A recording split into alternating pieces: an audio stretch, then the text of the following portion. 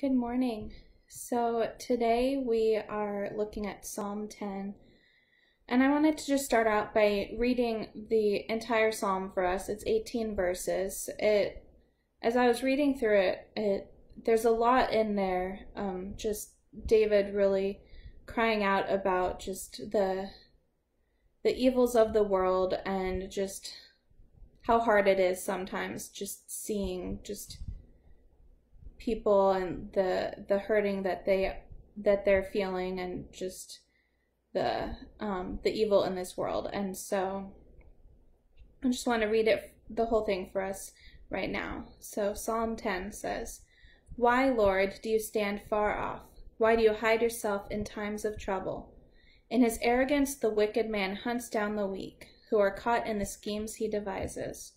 He boasts about the cravings of his heart he blesses the greedy and reviles the Lord.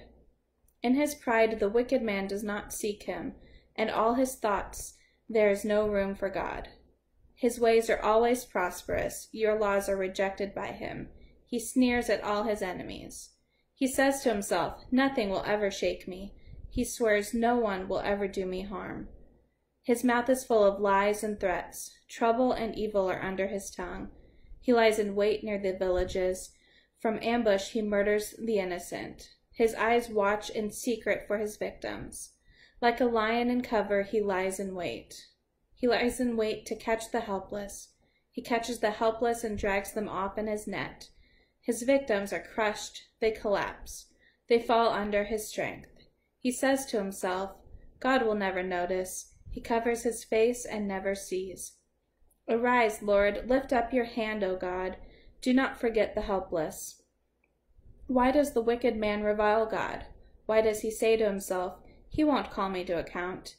But you, God, see the trouble of the afflicted. You consider their grief and take it in hand. The victims commit themselves to you.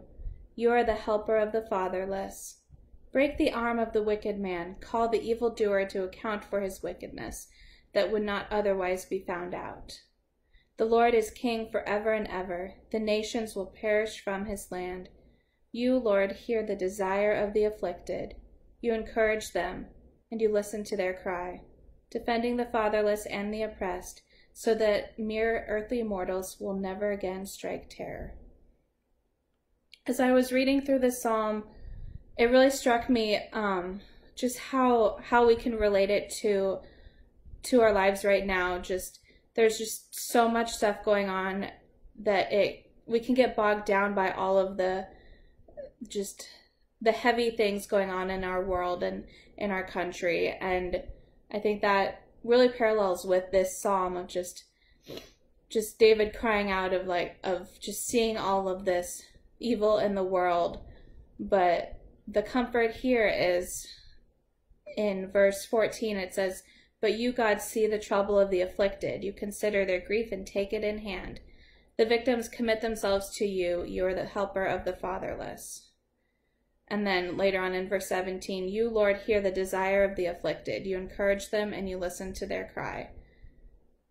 And so, while there's a lot going on in our world and a lot that we are constantly seeing and just struggling with and in our own lives, there's all kinds of things that we could be dealing with.